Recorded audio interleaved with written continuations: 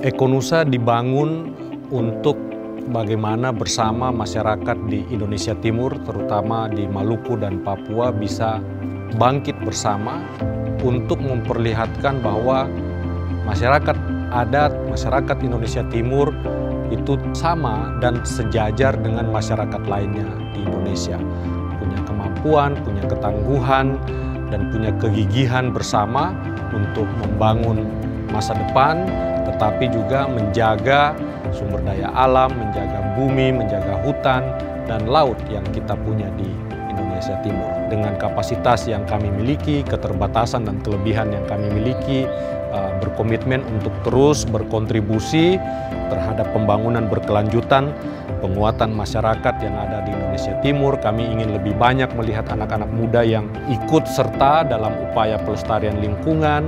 Kami ingin lihat lebih banyak anak muda untuk ikut berpartisipasi dalam upaya pengelolaan sumber daya alam dan tentu kami ingin lihat masyarakat lokal dan masyarakat adat di Indonesia Timur lebih maju dalam konteks eh, perekonomian tetapi juga lebih maju dalam upaya pelestarian uh, dan pengelolaan uh, sumber daya alam yang mereka miliki karena itu adalah hidup kita.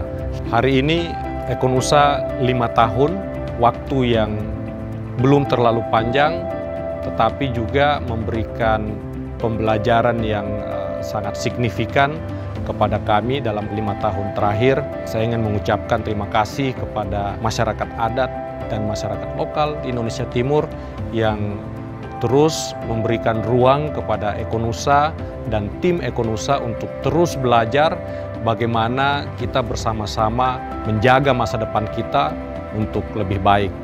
Uh, tim Ekonusa yang uh, sudah bersusah payah saling mendukung untuk bagaimana bekerja bersama dan belajar bersama. Terima kasih dan tentu semua pendukung uh, kegiatan Ekonusa, uh, masyarakat luas di Indonesia, teman-teman influencer, uh, relawan, teman-teman muda yang juga mengikuti kegiatan-kegiatan Ekonusa dan semua pihak termasuk tentu pemerintah daerah dan juga pemerintah pusat yang terus memberikan ruang dan dukungan kepada Ekonusa untuk belajar bersama membangun keberlangsungan uh, iklim, keberlangsungan lingkungan, dan masa depan yang lebih baik untuk Indonesia Timur. Sekali lagi terima kasih untuk dukungan itu. Mudah-mudahan uh, ke depan Ekonusa bisa uh, lebih baik untuk membangun Indonesia Timur yang lebih berkelanjutan dan lebih baik.